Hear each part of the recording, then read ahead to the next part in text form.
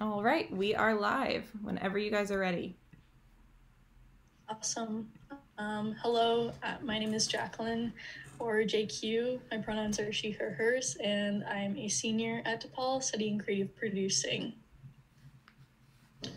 Hi there, I'm, I'm Nick Schmidt. I'm staff here at DePaul. Um, I run the production office with Sandy Gordon um, and Fran Casillas. Hello, I'm Fran Casillas. I work at the student production office. I'm a student. Awesome. And today we're just, just going to kind of go over how to navigate the production office at DePaul and um, things to know, the do's and don'ts. Um, all right, so we can get this started.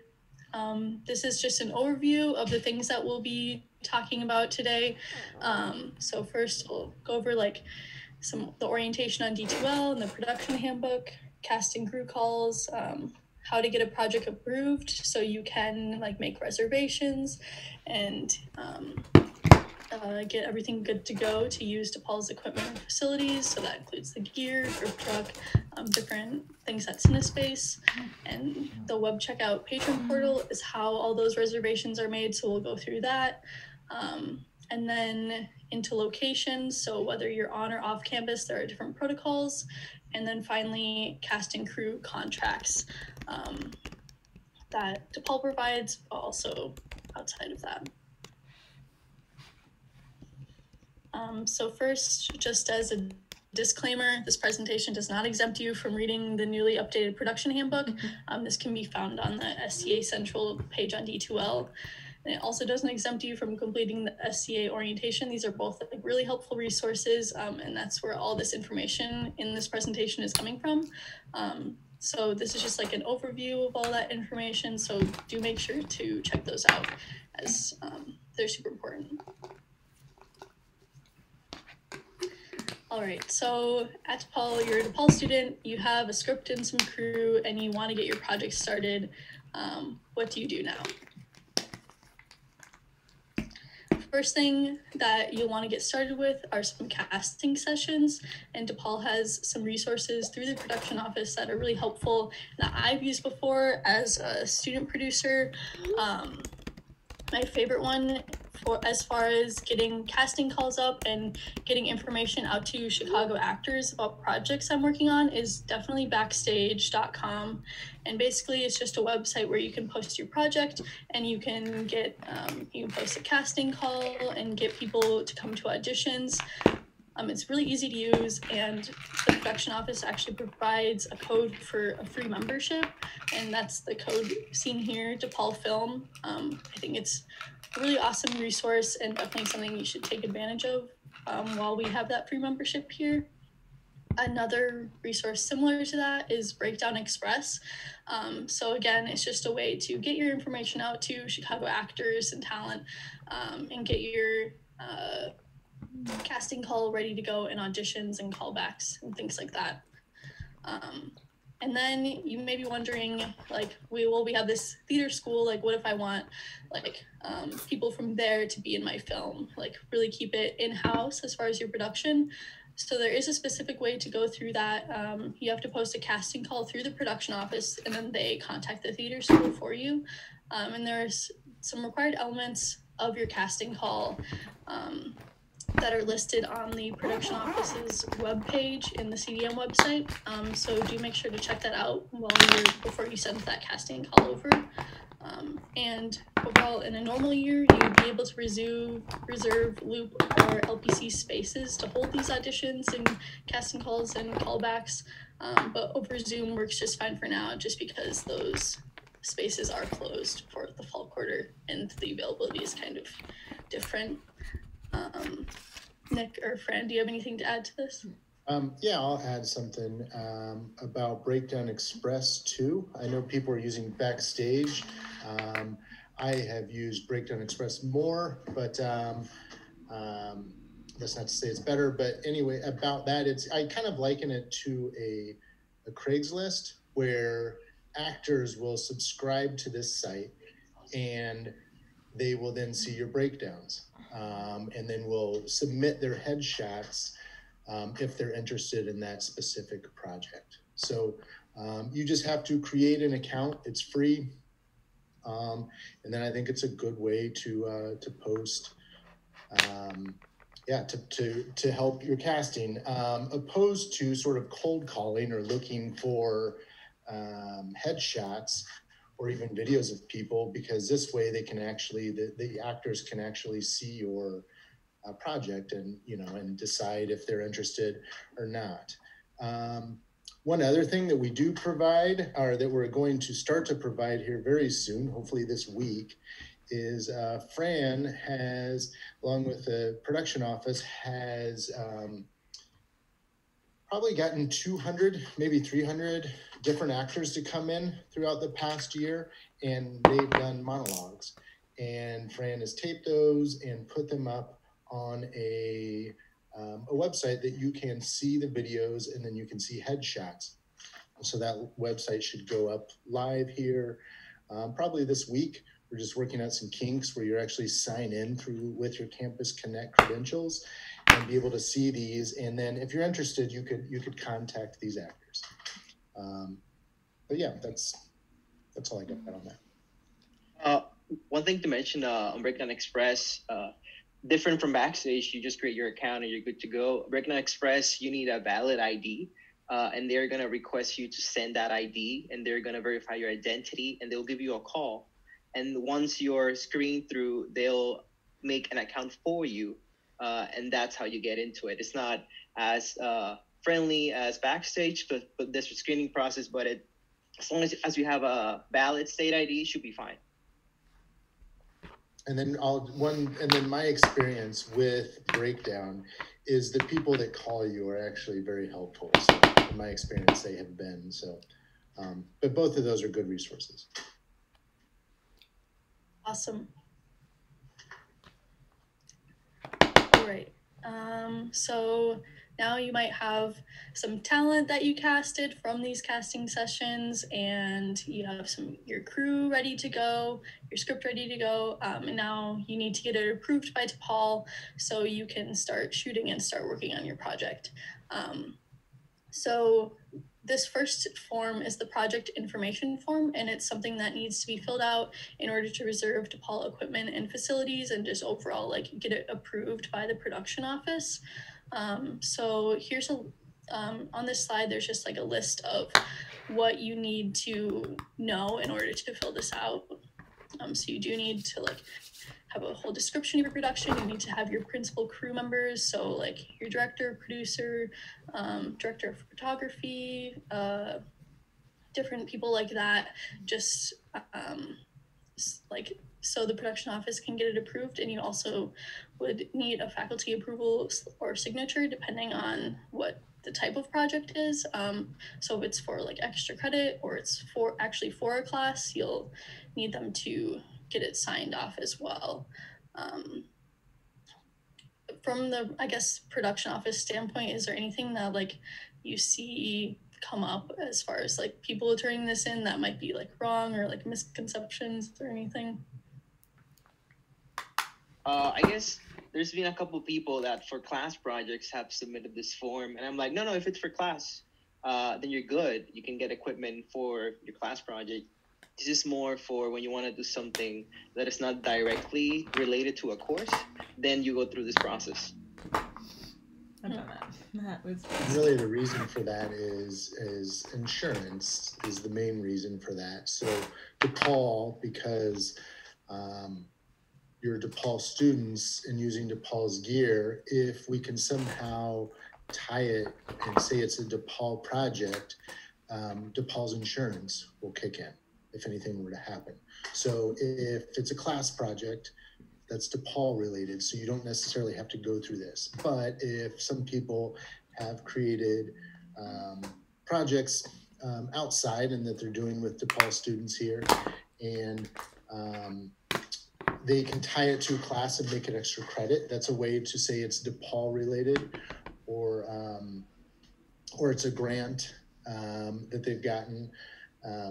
But essentially, it tying it through the production office is to make sure that there's insurance and make sure people are covered. And if not, um, we can kind of help steer you the right way. So it's always important to come come through us and ask us questions. And then um, I'd also say too, people sometimes don't fill out everything or say, "Hey, I didn't fill it out because I didn't know." You know, my crew wasn't all set in stone. Um, that is okay. You can still submit this stuff with just as much information as you have, and then we can keep talking. So I think it's, uh, and then essentially what the production office does from there is make you aware of anything that you might need to be aware of, like locations. Hey, you might need um, insurance for this location, and here's the steps to do that. Or I see you have a child actor working here. Like, here's some steps to work with child actors um, or here's stunts, or here's a, a weapon. Here's what you would need to do to make that safe and um, and actually be able to happen and be covered for insurance. So um, I'd say the sooner you get it to us, the better. Um, it does actually ask for seven days prior to it. Um, and so I guess that's I should be clear on that. That you know if it's if it's less than that, um, your project is in jeopardy of not, you know, happening on time. So, um, so use that.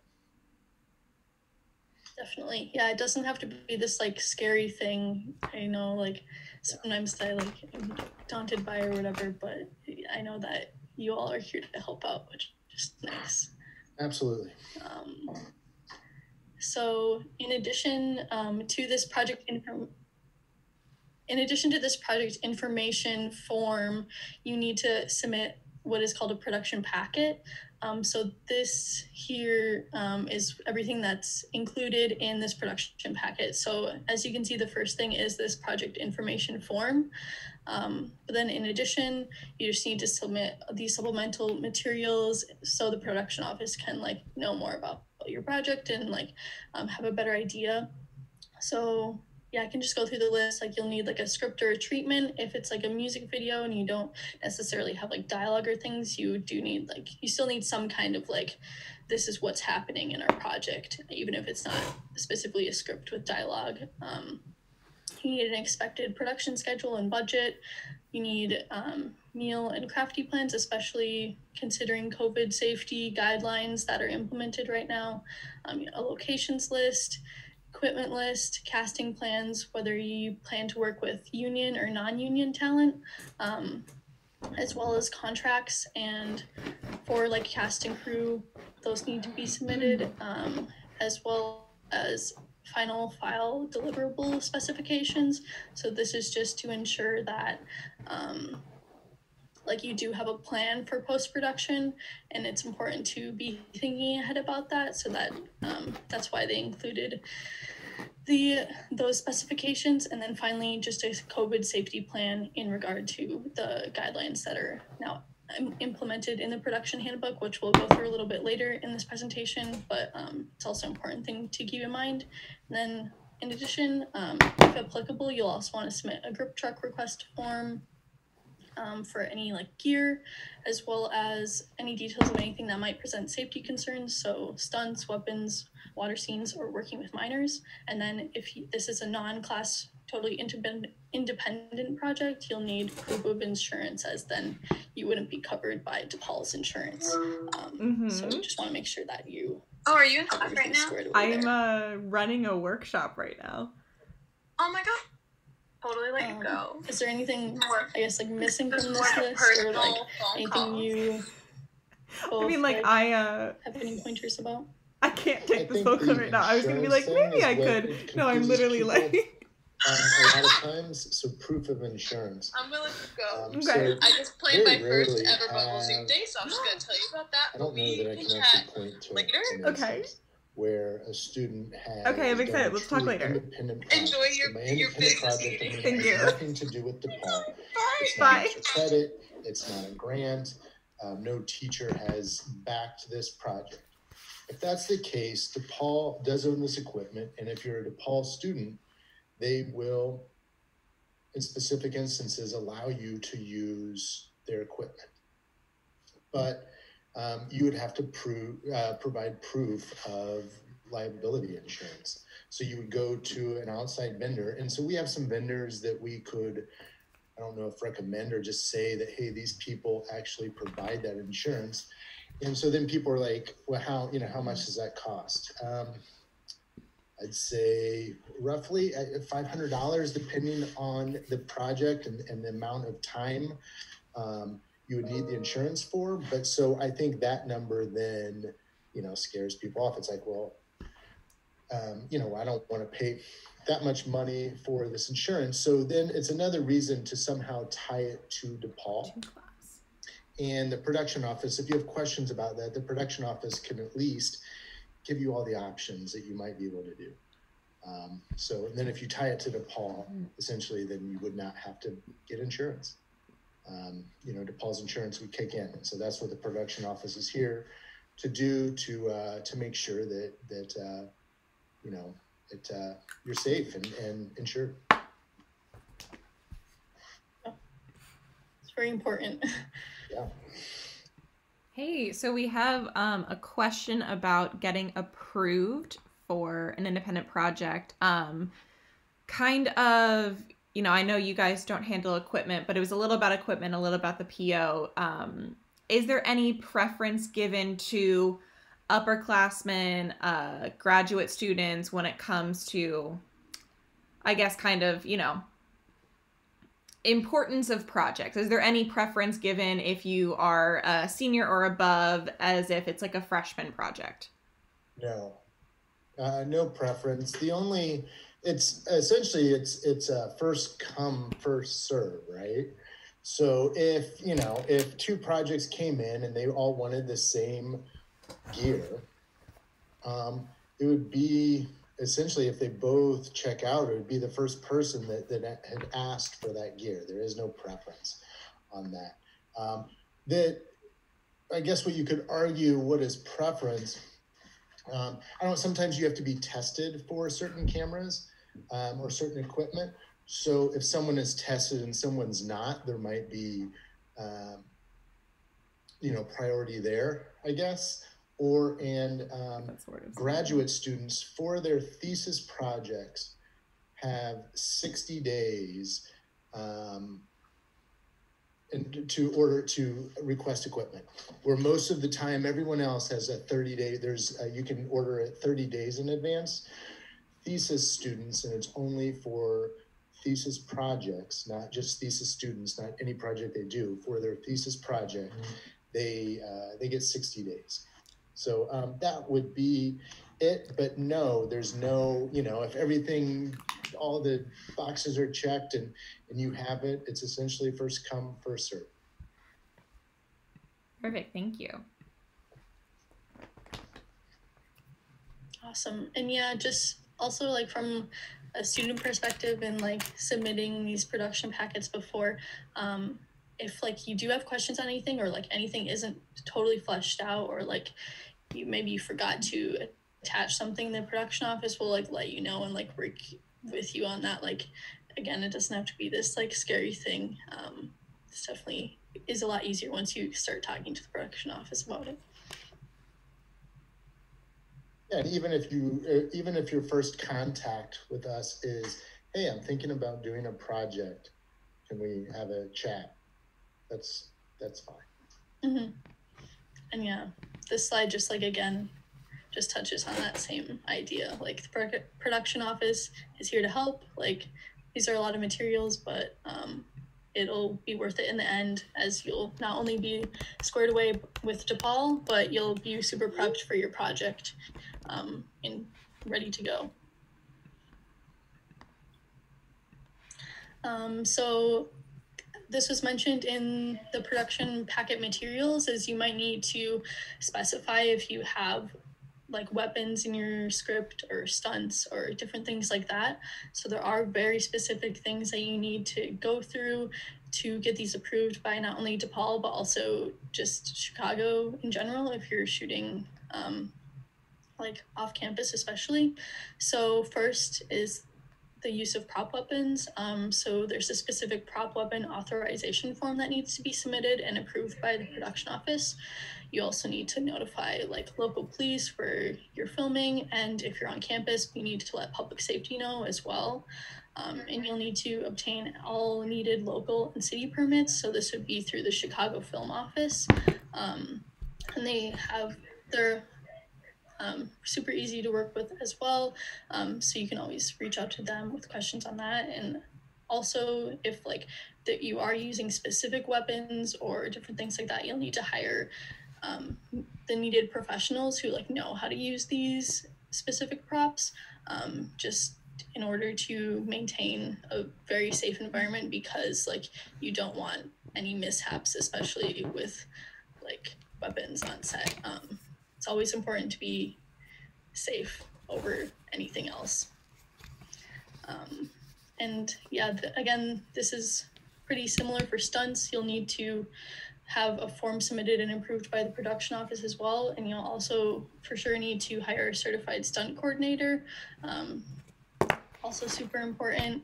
And then just as far as things that are just like they don't like they're not permitted by DePaul, includes driving sequences and animals on set. So there's no forms for that or anything. It's just like a, a hard no. um, personally, I've never gone through this process before, but I guess like I try and stay away from it just because it is mm. very tedious. And like if there's a way to work around it, I feel like that um, is easier. Um, but I would I would say I agree that that it's easier to not, but if it has to be, um, this that shouldn't steer you away from going through this process, right? And so Jacqueline had mentioned that it's you know number one is, is safety here, but um, you know even for a gun that is obviously not a gun, if it's a prop gun and you're thinking that you know I, I don't really have to do this, this isn't going to hurt anyone. Um, I don't a, a scenario that that could present itself unsafe is um, you know if someone else sees from a window or something even if it's a prop gun but maybe from a distance looks real um, you know that could pre- present a, an unsafe situation where people get hurt. Um, and if people hear yelling or whatever if police come to the scene. But um, essentially don't let this intimidate you. There is a process to actually make allow these types of things to happen safely. And so it's important to, um, you know, to go through this process. And if you have questions about it or it's intimidating, even working with the film office, that's what the production office is here to help you do. Awesome. We have a quick question about animals. Um, basically, is it allowed if it's like my dog? That's a good question. The um, it's kind of a new rule. Um, the it clearly says no animals. Um, so my answer will be to to at, to present the case to you know instead of taking hypotheticals, I guess let's uh, present it to the production office. Um, ask and uh, and we'll do the proper um, you know, go up the, the chain and, and ask to see if that's okay. Um, so I would say, no, it's not okay, but ask us and, and we'll go from there.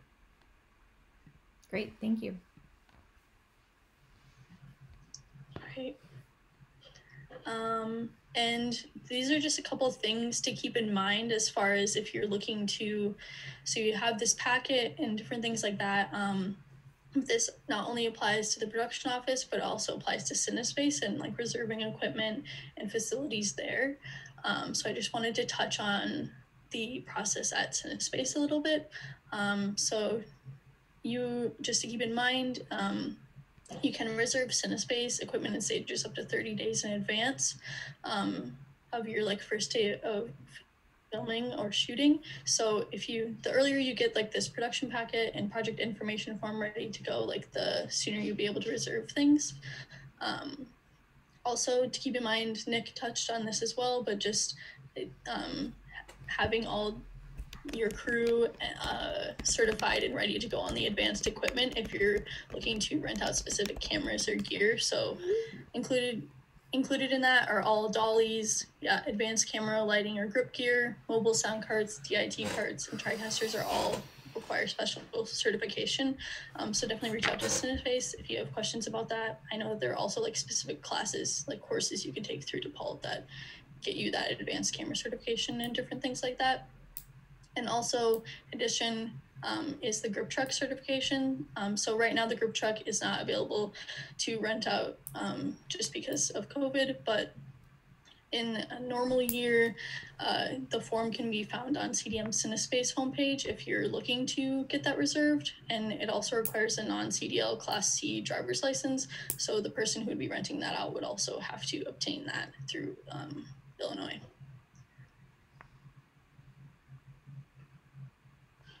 Um, so again, I just wanted to touch on like Cinespace protocols and different things like that. So the web checkout patron portal that I mentioned, this is just like a, I guess, like hub for any kind of reservations at Cinespace or at the Cage. Um, you can also reserve specific rooms or facilities from it. Um, so you log in with your Campus Connect credentials. Um, the link is on the SCA D2L homepage. Um, and from there, you can choose which equipment center you want to check out from, whether it be, like I said, the cage, Cinespace, um, and they all do have different procedures and contact info. So on the right um, is what shows up if you are looking to reserve at Cinespace. So there are like specific things that you need to follow within there. And then for checking um, gear out and to, to make reservations, you need to have a signature on file. So this is tied directly to the production handbook. So th- on the last page, there's like this um, form that says like I um, read through the production handbook, I understand everything, and you sign it, and you have to submit that to Space to be able to reserve. You also need to complete the orientation, but the major- majority of time this is completed in class, like in um, production one. So um, also keeping that in mind but yeah other than that like using the software is pretty easy. You just like add things to like your cart and then you're able to reserve it following this protocol on the right. Um, yeah it's pretty easy once you like if you read through the production handbook especially it walks you through all of this. It's kind of confusing if you don't which is why it's important to read through that handbook as well.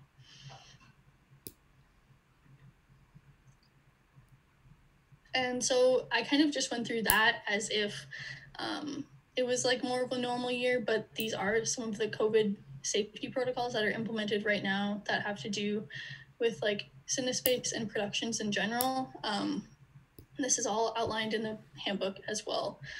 Um, so as of right now, for Cinespace, all in like any equipment center, all rentals have to be made online. So you do have to use the patron portal. You can't just like walk up and ask for a reservation. There's also a specific protocol um, for picking up and dropping off equipment. Um, Cinespace, I reached out to them and they um, specified that it is important to look those things over. It's things like making sure you're wearing a mask, making sure you're showing up at your specified time window, because they do have specific 15 minute windows for each people who come to pick up equipment. So like people aren't like seeing each other as far as that goes. Um, and right now, during stages, the grip truck, advanced dollies, walkies, and certain craft service items are not available for reservations this fall.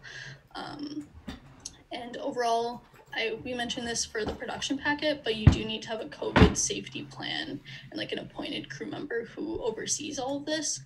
It's super important. So there's like certain specifications for the size of crew, how you're like shooting format is laid out. So there's like hubs that you need like people to be in each department. Um, every all food needs to be individually packaged, and obviously like masks and social distancing are a must. And yeah, again, all of this is in the handbook. Um, yeah, do you have anything to add as far as? Um, yeah, I, I run the equipment center, the cage, and the loop. Um, and so it's the same. You need a 24 hour in advance reservation via the patron portal to be able to check stuff out. And so there's 30 minute windows. that you can choose. And you need to be there within that 30 minute window, um, or the reservation will get canceled. And then you can't make another one until 24 hours. So it's important that you're in there for the 30 minutes. And um, so that again, that that's you know to have as few people there at a time to keep the staff and everyone safe. Um, but uh, there is availability. Um, and something else that we didn't mention that you should do is there's the Campus Clear app that um, all students should download. And essentially, to come to campus at DePaul, you need to pass that um, app or whatever, pass that test every daily that says that you're good to go. So that's important to have that before you come in for a reservation. But um, we're on the phone. Um, you can call us. You can email us. Um, we're here to help. So if you, uh, you know, there's ways to get this done, and we just want to make sure that it's done safe. Uh, also, in the COVID safety plan, uh, some people might think it's something very complicated. It's not. Uh, the checklist that DePaul provided uh, every student, essentially, it's nice to have that checklist and not just read it and be like, I know that. But uh, in the plan, you incorporate the checklist to your specific production. How does that checklist reflect your locations, the crew members that you have? So read those and then tweak those to reflect how you're working with it. So you don't have to come up with any sort of different plan. You just have to incorporate that checklist to your own specific production, which is essentially take the same checklist and go over each point and just tell us how you're doing that in your film. And that's it. It's super simple. Uh, and other than that, uh, in the handbook, uh, some people might think, oh, I already signed that uh, when I took production one. Uh, I think Gary Novak sent recently, like the revised production handbook. You have to sign it again. So just keep track of that. If you did already once uh, before, that's fine. You have to do it again this quarter.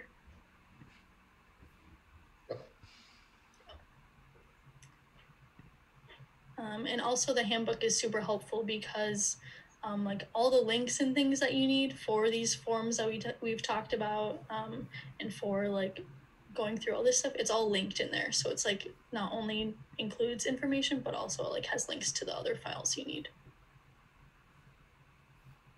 Um, this is also another important thing to note for when you're making reservations is that there are penalties and fines for like unclaimed reservations, late returns, damages to the equipment, um, cleaning fees. It's important to take these seriously because they do impact like being able to reserve things in the future. Um, not only and then as well obviously like you would have to pay a fine and that also is not ideal um, so and then like like nick said too like keeping in mind the covid precautions like so like you have your equipment in the time that you need and showing up in the window that you are reserved for yeah uh, something about fines cool. that happens uh, often is that let's say you have your crew right for your production and then your DP has a fine and he hasn't paid it, so that's gonna hold up your production until that fine is paid. Uh, so just make sure that you're not holding up anybody uh, because you like have like twenty dollars that you owe for like some something late. So make sure you always pay those up because it's not even that much. That's a good point. Um, all right, and now into locations. So this is something else that the production office can help out on and also something important to keep in mind as you're going through pre-production for your project. Um, so first, as far as on-campus location protocols, um, you need to submit a student filming and photography permission form. It needs to be submitted to public safety a minimum of 72 hours in advance. So this form is linked in the production handbook. Um, and yeah, this is just to like let people on campus know what's going on.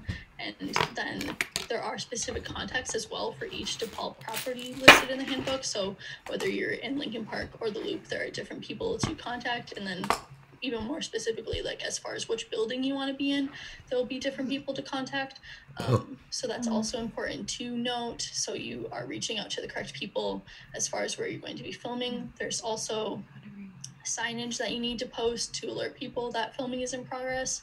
You also there's also um, specifics for if like the DePaul logo is being used in any way. Um, that's all in the handbook. And um, yeah, again, we um, Nick said that you received a question too about like using the Campus Clear app, like when people are filming on campus. Um, I don't know if you want to like go over that again. Sure. So yeah, the Campus Clear app again. Just anytime you uh, you come to campus, DePaul has asked that you fill out that questionnaire on that app. And essentially, it's saying um, if you're not well, or if you've been by people that are not well, they, they ask you to not not come in. And so it's uh, to keep it safe. So you need to to walk on campus. You need to clear that app, and this app is for is DePaul specific, right? So I guess if you have like an actor and you're coming on to DePaul's property, um, it would be you should probably essentially create that app yourself by asking the actor or whoever it is those questions and if they don't clear it um, you you know you shouldn't operate and is saying that it's not safe to to you know come in and be by people. So um, yeah i mean they're, they're they're it's not a they're not like a trick you questions essentially. Um, i think there's like eight to 10 questions asking if you are, are sick or not feeling well or been by someone that has tested positive for covid. Um, and if you have then it essentially says you know not you're, you're not cleared to come back um, you could essentially try it tomorrow and um, you know if you pass it then you're, you're clear yeah. yeah and then also just making sure that any of your crew that are DePaul students, they are like filling out that app before they get onto campus.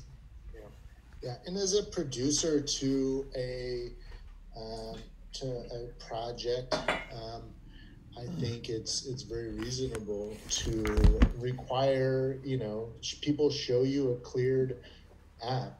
Um, you, you know, yeah, I think that's uh, I think that's probably what I would do if, um, if I was producing the film and just saying, you know, hey, you have to clear this app before you come in or daily, and if they can't clear it, then uh, you know you shouldn't be there. Definitely, yeah. Um, but yeah, and then in addition to there being specific protocols for on-campus filming, there's um, also off-campus protocols for your locations that you want to film at. Um, so overall, it's important to remain professional in representing DePaul's Film Program. Um, so you are like working with like people like who have these like locations or who are owners or like who are in charge of like a park or something. So you want to make sure to maintain that um, like to maintain your professionalism. So when DePaul students in the future want to film there, like there's a good reputation. Mm-hmm. Um, and so, a couple things to keep in mind for filming off campus that the production office can help you out with um, is uh, drafting a location use agreement. So, that this is required to shoot on off-campus locations. And it's basically it's a contract between the location you're shooting at and DePaul. And this is submitted to the production office. Um, just to let them know that location knows what's going on, um, that there's DePaul insurance, and this whole location is provided by the production office. Um, and definitely, if you have any questions when you're going through it, reach out to the production office. I know some parts of it can be confusing as far as which part you're supposed to fill out, or like the location, different things like that. Um, another thing that you might run into um, is the cert- needing a certificate of insurance or a COI, it's often referred to as. So, yeah, like some locations might require this from DePaul. Basically, it certifies that you're a DePaul student project and therefore covered by DePaul's insurance. Um, so, this is something that you would present from DePaul to whichever location you're going to, just like basically saying this. Um, and it's, it's easy to get and it's commonly needed for like Chicago Film Office permits as well as like Chicago Parks permits. Um, and it's really easy to get from the production office. Uh, and yeah, I don't enough time. I yeah. um, and then outside of this, you might also need a Chicago Film Office permit. Um, so this is like if you're shooting on a street or a sidewalk that would need to be blocked off, or maybe you need parking permits um, for your location. You can reach out to the Chicago Film Office, and they have student rates. It's not super expensive, um, and like I said, you can get parking permits, street block streets blocked off for your production, and again, you'll need a COI to apply for this and also make sure to do this early. Um, it's really like there, there's a specific window. I don't necessarily remember what it is, but yeah, just making sure you're doing this early and you're working with the Chicago Film Office if um, parking permits or streets being blocked off is something that you need. Yeah, I'd say timing wise, I would uh, at least a week, um, and if uh, I would give it more depending on what you need, because a location use agreement is is simple, right? You just need a signature, and and uh, I would be one of the people that could potentially sign that, um, and I would just ask questions about the uh, your, your plans there. Um, so that's easy to get. But then, if on top of that you need a certificate of insurance, that could take a few days because we have to provide that completed location use agreement and give it to um, DePaul's insurance entity and depending on whatever they have, that could take some time. Um, so yeah, the longer, the longer, um, or the more advanced you you give us, the uh, the better off for you. Um, so we will try to do it as quick as possible, but um, unfortunately, at times people have asked and said, "Hey, I have this thing in a couple days," and we haven't been able to to take care of it. Sometimes it has, and sometimes it hasn't. So um, you know, do it as far in advance as you can. And if you have questions, ask us, and, and we will, you know, we will do everything that we can to help things go.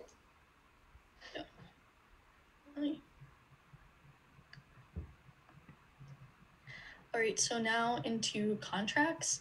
Um, so like you have your locations all figured out, you have the contracts for that, but now you want to go through your with your casting crew. Um, so there are specific protocols for union versus non-union cast as well as working with minors so um, SAG is like the the Screen Actors Guild um, union, and you can get a um, a student film rate while working with them. So they do have to be paid, um, and this needs to get squared away before filming. So there's a specific form that you'll want to get from the production office in their commonly used forms um, which is where the location use agreement and other all these other contracts are. Um, but it, it, there is a specific protocol for it, so just make sure to keep that in mind if you decide to work with union actors. Otherwise, non-union, um, there's just a contract and waiver available with the production office for them. Um, this is for um, there's like a non-student and student one. So let's say like it's a student non-union actor, you would use that. Otherwise, there's also a non-student um, non-union kind of uh, waiver and release. And then finally, working with minors has very specific guidelines, um, and need, you need to abide by the Illinois child labor laws. Their, their parent and guardian needs to be present, and the waiver needs to be signed by them. This is provided by the production office, and also needs to be noted in your production packet, um, as we mentioned before. Um, can I say something about SAG? mm-hmm. paperwork. So um, I know sometimes people are not, or maybe intimidated by extra paperwork and extra forms to fill out. Um, I guess I would encourage that um, to not be intimidated by that. It's it's not that it's not difficult. I'll say. Um, SAG actors, um, being a student film gives you the opportunity that you can sign a contract with SAG actors that essentially says um, you don't have to pay them any money if you don't make if your film doesn't make any money and then on top of that it says if you do end up making money essentially all you have to do is pay that actor at the rate of $125 a day and then that's it. So that's what that contract is saying. And so obviously the actor would have to agree to that contract but um, but they do and, and they will um, depending on the project and actor, right? So essentially, the paperwork, all it involves is registering your project with SAG AFTRA, And so that's, you know, they just want to, they want to see your script, they want to see your budget, they want to know just specifics of your production. And then they will deny it or approve it at that point and give you a number. And then essentially, once you have that number, you can then go cast um, union SAG actors. And um, I, it just greatly expands the, the amount of talent you can work with. Um, and they um, and then the other paperwork, essentially, then there is one contract that you and each actor would sign, and on your um, and then daily when you come in, it's like a timesheet that you would list all the SAG actors, what time, and just kind of indicate what time they came in and what time they were they left. Um, and then at the end of the production you turn in all that paperwork to sag and you keep it for yourself and and that's it. I mean it's it's not a it is not a complicated process and um, it's pretty pretty great that um, you know that that contract's in place that you can actually work with some of these very talented actors um, you know for no money. You just got to fill out the paperwork. Yeah um and then on the other hand, there's also crew contracts that you need to make sure everyone on your crew is signing. Um, so there's student and non-student release forms. Um, these are found on the commonly used forms again with the production office. Um, it like requires you to like detail some stuff about like what the product, what the project is, like what class it's for, different things like that, and then it just requires a signature from that crew member basically. Um, but just to keep in mind, the key crew positions of your project must be to DePaul students. And if you plan to hire out any outside crew, you need to let the production office know in your production packet. And um, as far as like using, if you do receive like a DePaul grant um, through the School of Cinematic Arts, like you, there are specifics that you need to follow as if you're going to pay them with that money that you received from the school. Um, that's outlined in the handbook as well, but just like important to keep in mind if you are looking to hire anyone outside of DePaul.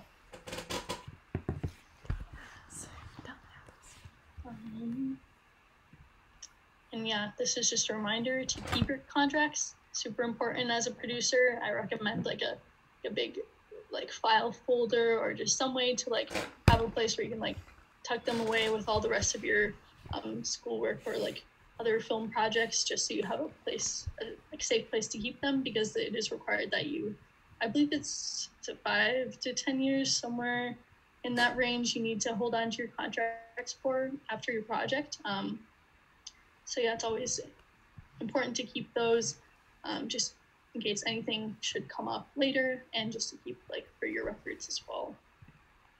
Yes. We do have a question about the um, crew release forms, the DePaul student release forms. Um, I know at one point in time you did have to turn them into the production office. Do you still have to do that, or do you just have to keep them? You have to you have to turn them in as part of uh, just getting approved. Yes, all crew and cast release forms do do need to be turned in. Perfect. yeah, you. they do need to be, to turn in uh, 5 p.m. the day prior to shoot is the deadline uh, to be ensured in the production, essentially. Great, thank you. Um, and then finally, I just wanted to touch as well. We talked about like some of the other facilities as far as reserving things um, that are available right now. Unfortunately, a lot of like the screening theaters and like places where you would like hold casting sessions or you would like possibly be filming um, are closed right now, but there are still like computer labs and different things open that um, like you might see as like you're going through the patron portal, things like that. Just wanted to um, point that out, but it's also all mentioned in the handbook. Um, yeah, just a reminder to stay safe and stay healthy. And if you need any help, definitely reach out to the production office even if it's just a tiny question, like there are no like dumb questions when it comes to doing this. Every project is different. Every project has its own like challenges, and so it's always important to stay ahead of those and um, reach out when you need it. Um, and yeah, I just listed some helpful resources. SCA Central is that page on D2L.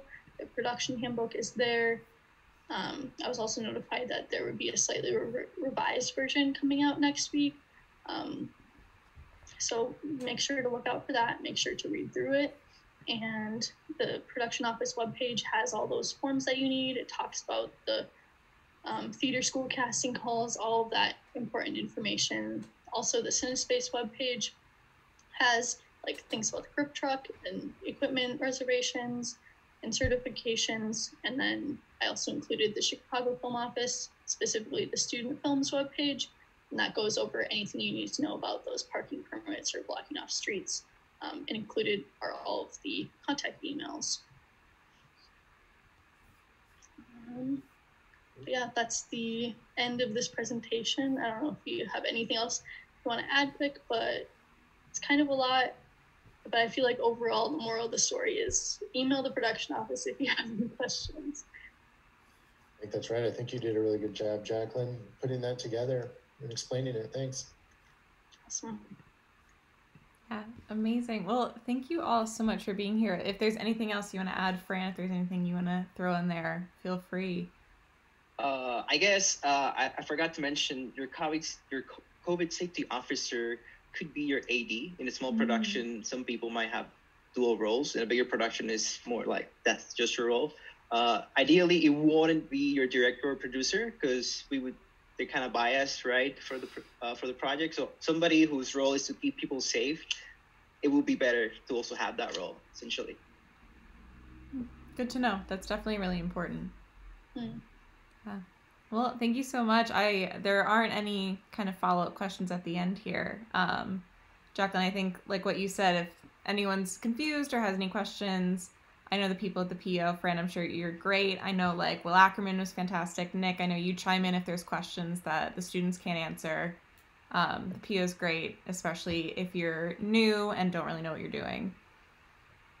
Um, I will. So we had talked about earlier in this. Uh, someone had asked about the dogs. Yeah. And I kind of gave an answer um, that I think is right. So I'm I'm going to look into that. I'm going to ask that question, and I'll reach out to uh, Jacqueline, you, and Leah, and yeah. just tell you what they officially say, and then if it's different than what I had suggested, uh, you know, we can let people know that. Awesome. Definitely. Yeah, I know. Uh, I in production one used my goldfish, and I'm like, is that against the rules now? yeah, it's. I mean, in a conversation that I was uh, present for, yeah, that question came up in a goldfish, and it was kind of like, no, no, you can't. hey, if if that's the answer, that's the answer. yeah. So, um, but I,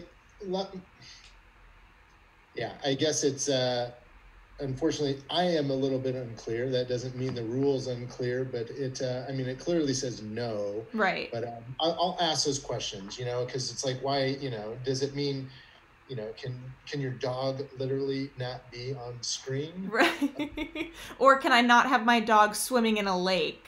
Yeah. Like, yeah. where's the line?